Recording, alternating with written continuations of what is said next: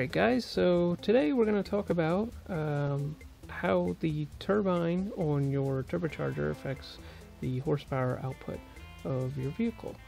So um, we basically did a test on this on the dyno, uh, back-to-back -back comparison. Um, so some of you may be asking what is AR ratio. Um, it is the area, it stands for area divided by the radius.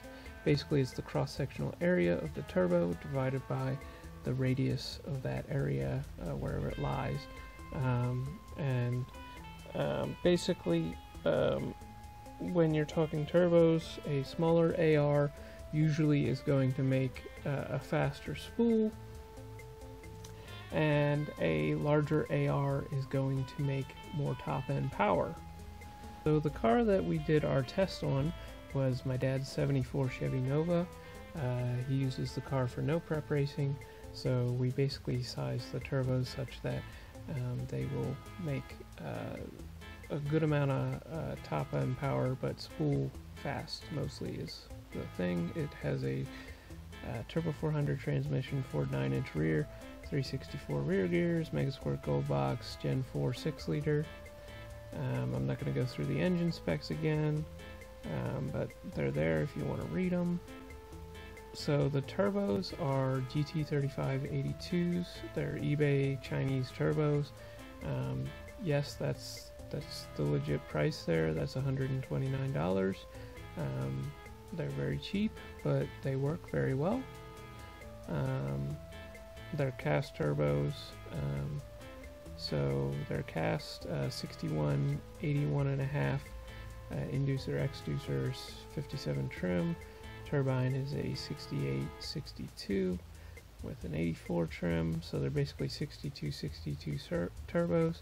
They're rated for between 4 and 600 horsepower um, on engines that displace between 2 and 3 liters. Um, so we figured 3 plus 3 is 6. You know, it should work well on a 6 liter. They are water and oil cooled. Um, we are not using the water cooling portion of the turbo because it's not a road race car. It's only going to be run a couple minutes at a time. It's not a street car. Um, and they shipped, that's wrong, uh, they shipped with 0.63 AR housings. So that's what we ran it up with in the first test.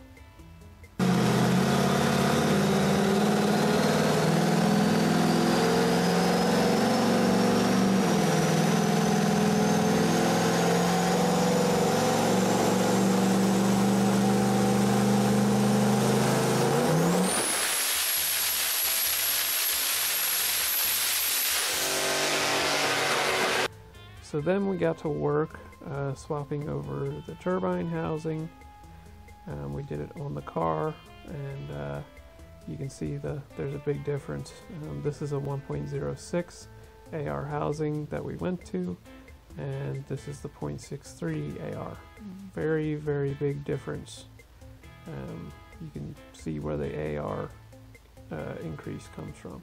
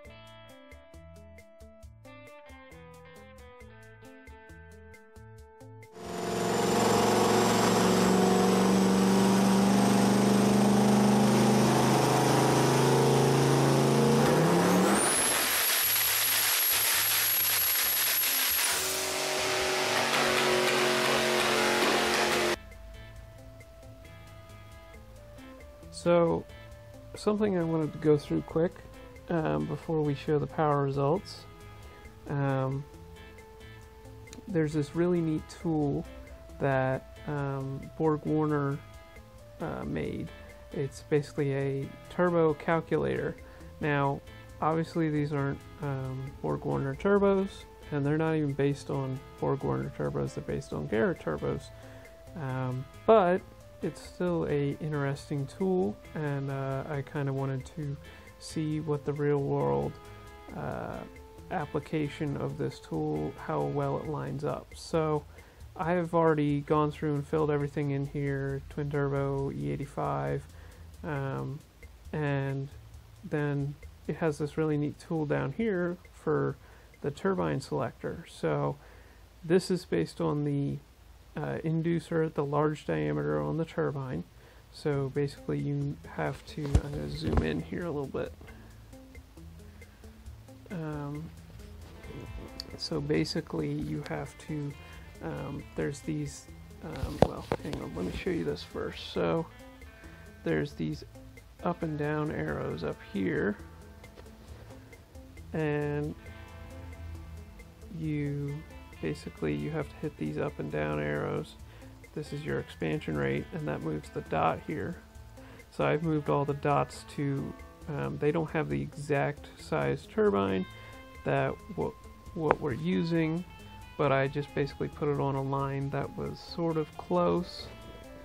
And we can see that in the calculated outputs that we have, um, each is calculating that we should have around 30 pounds of back pressure with a 0.63 uh, 68 millimeter turbine. So now if we mess with this again and move these dots, so I'm only going to move the top two um, just because that's really the only ones we care about. But if we move these to an area where it's close to like a 1.06, um, give me a second here. Lots of clicking. It has to catch up to you. So this tool is saying,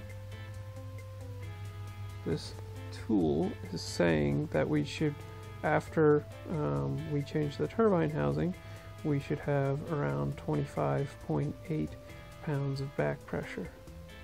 So another output of this tool is obviously the horsepower. So it's saying that the engine horsepower should be 100 or 1131 horsepower and it should take 70 horsepower to drive each turbo. Um, now I think that's each turbo. I don't think that's both turbos combined. So um, if we open up our calculator, and we do 1131 minus 70 minus 70 times 0.85 for drivetrain losses. So it's saying we should make 842 horsepower to the ground with the uh, 1.06 AR housings. So if we go back, now we can look at our power results. So here were the power results. So dashed line is the 0.6, uh, or sorry, the 1.06 AR housing results, and the solid lines are the 0.63. So you can see that um, our peak number was 795 with the 1.06 and 771 with the 0.63. So we had a net 24 horsepower gain at the same boost. So both runs were at 17 pounds of boost. Now you may look down lower in the power curve and say, hey, you lost power down low. Well, um, I don't have a closed loop uh, controller. It, well, it has a closed loop controller. I was not using it. I was running the controller in open loop. So you'll notice that the boost is significantly lower uh, in the lower RPMs. So that is what accounts for the lower power. I think it would have made more power everywhere, but um, I don't have a closed loop controller on the car, uh, or I do, but it, anyways, forget that. Um, so yeah, I think that's what accounted for the power loss down here, but you can still see the peaks up where it's 17.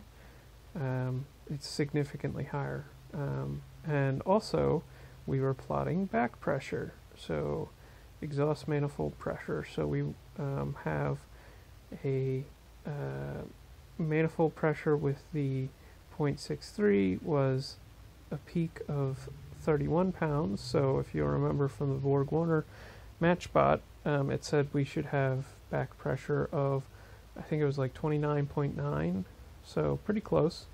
And then with the 1.06, we had a peak back pressure of 26.5.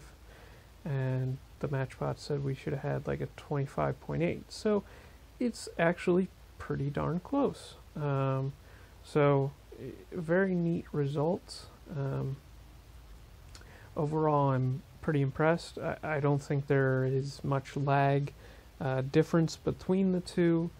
Um, it, I mean, it comes on super fast, um, as you can hear in the videos. I mean, we hit boost cut on the one. Uh, I had boost cut set low for, you know, dumb me on the first pull. We uh, had boost cut set to like 18 pounds. Um, and I mean, it was like, it was less than a second from me stepping on the pedal to hitting boost cut. In fact, I'll play the video.